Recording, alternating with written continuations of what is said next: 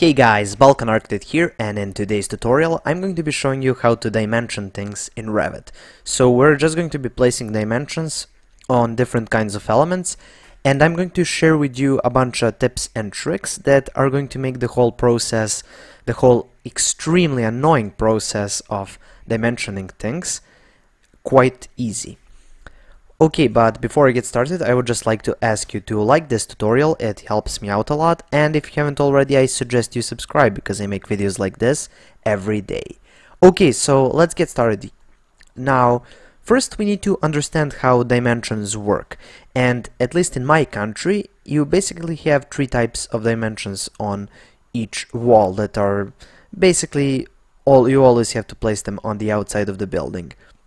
So you need to have all of the openings, so that means all the windows and all the doors, you need to dimension them and their relationship to each other as well as the edges of the building.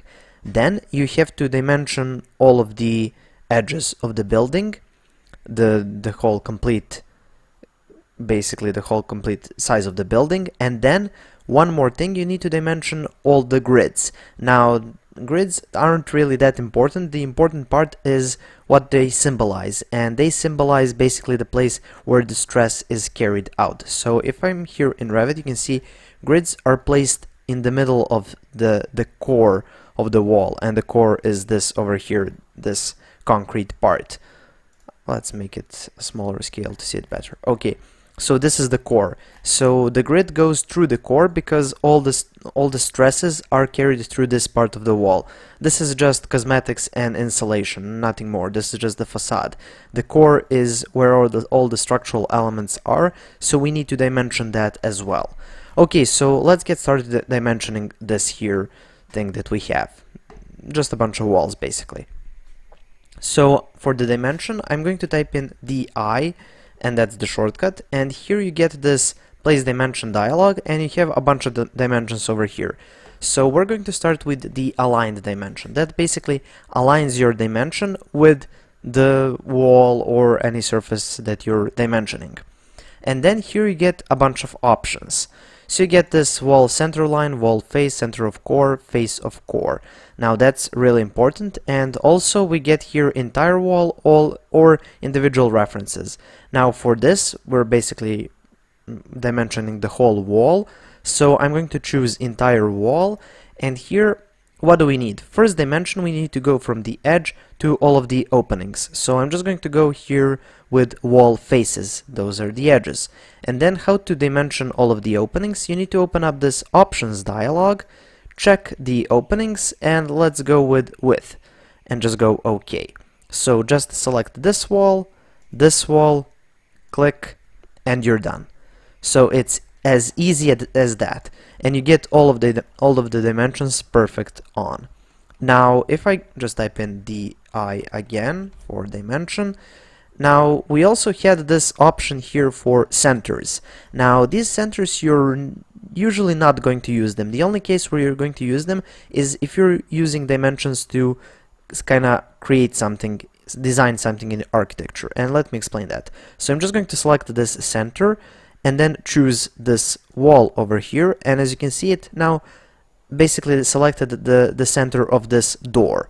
So we don't really need that. Nobody is using this dimension.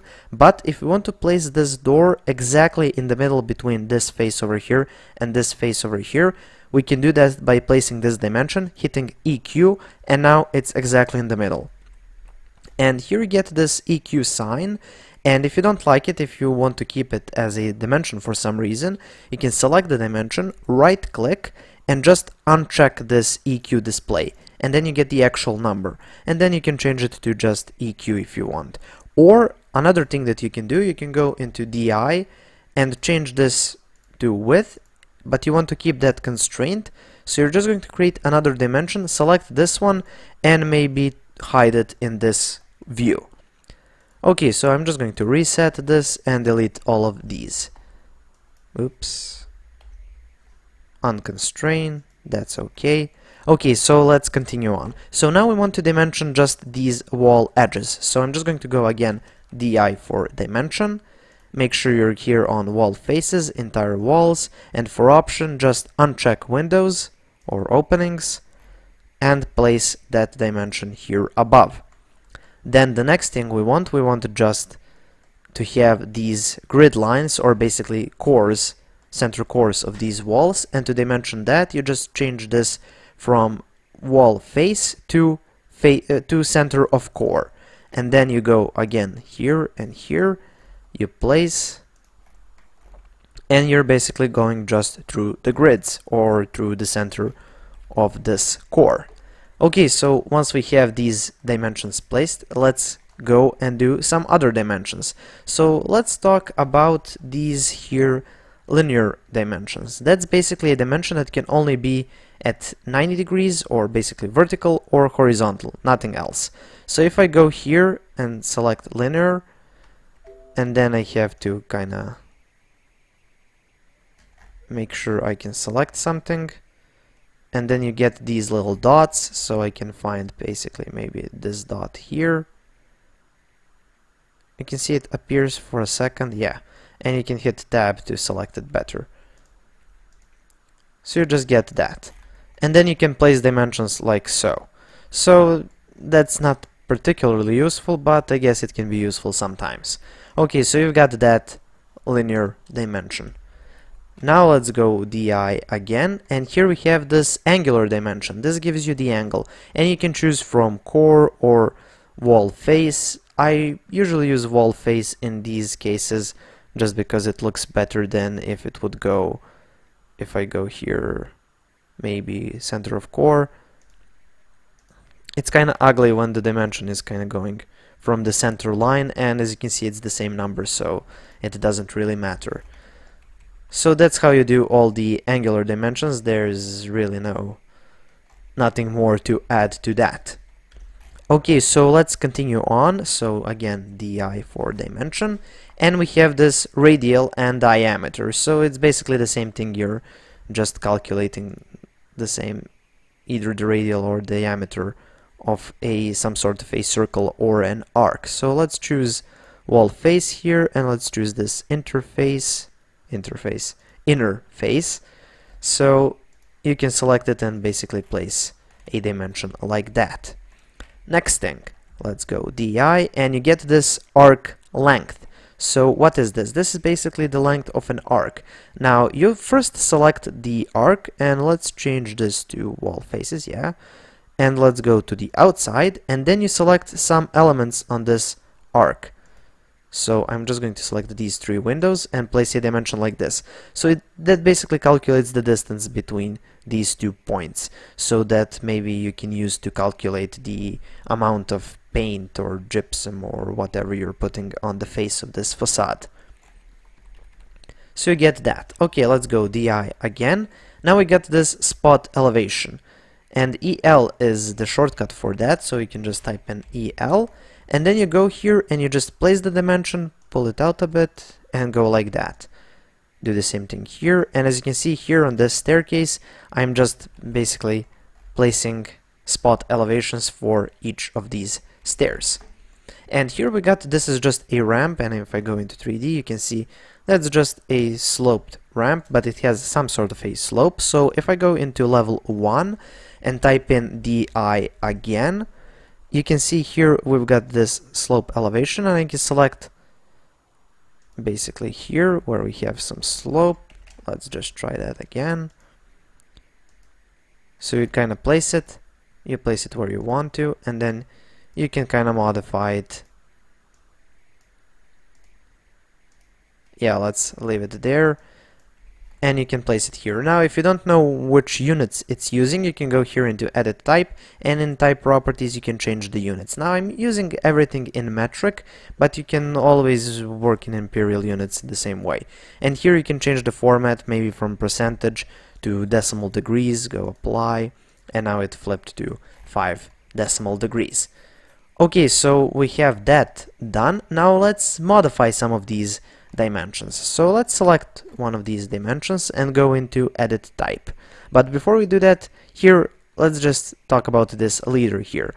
So if you if you don't like this dimension being here, let's say you have a wall running through this and you want to move this out of the way, you can select the dimension and kind of move it away. But you get this ugly leader. Now, maybe you want it, maybe you don't. If you want it, just leave it. And if you don't want to have it, just uncheck this. And now this is kind of moved out of the way. So now let's select the dimension and go into edit type. So you get some here type properties. And you can go down and maybe maybe edit the text, maybe you don't like the Arial, and you can either edit this one or you can just duplicate and create a new text, but let's edit this one for now. So let's change this to, I don't know, Century Gothic, that's what I always use. And then you can change it, maybe you can make it bold, so just check here, bold. Yeah, now, ah, maybe not. You can change the size of the text over here. You can change the text offset. That's the distance from the text to the line. So let's change this to one millimeter perhaps. Go apply. And as you can see now this dropped down a bit. And you've got this text background and it's opaque. That means you have this white background. And if I change this to transparent and go apply, now it's gone. So you usually want to keep it unless you got some some light hatch in the background and then it's unnecessary.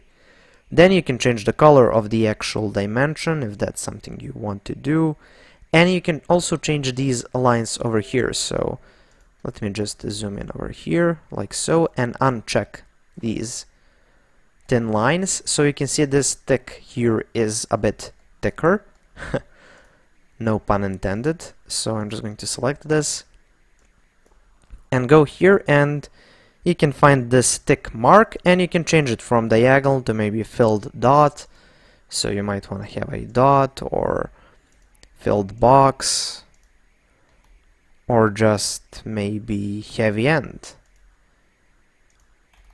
or open dot whatever that is. Yeah that looks cool as well. But let's leave it at diagonal. This is the traditional architectural text so you probably don't want to change that. And you can actually change the line weight so maybe you can change this to I don't know line weight 2 go apply now everything's thicker but let's leave it at 1 I think that's quite okay.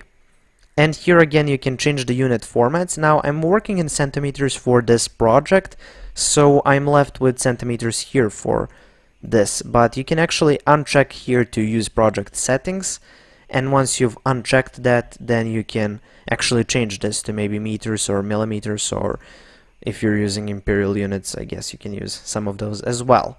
And remember that EQ sign well you can actually change the text so you can maybe type something different over here. And let's just cancel out of this Okay, so those are some of the basics for dimensioning things in Revit. I hope you have learned something new. So that's it for this video. Thank you for watching. Please like and share this video and of course subscribe. And if you have any questions, comments or suggestions for future tutorials, leave them in the comment section below. Thank you for watching and have a nice day.